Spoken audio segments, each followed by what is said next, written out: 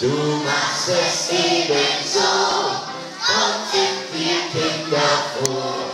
Sei gegrüßt, lieber Nikolaus, wieder gehst du von Haus zu Haus.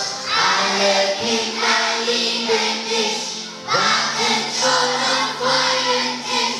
Teilst du dann deine Gaben aus? Dankeschön.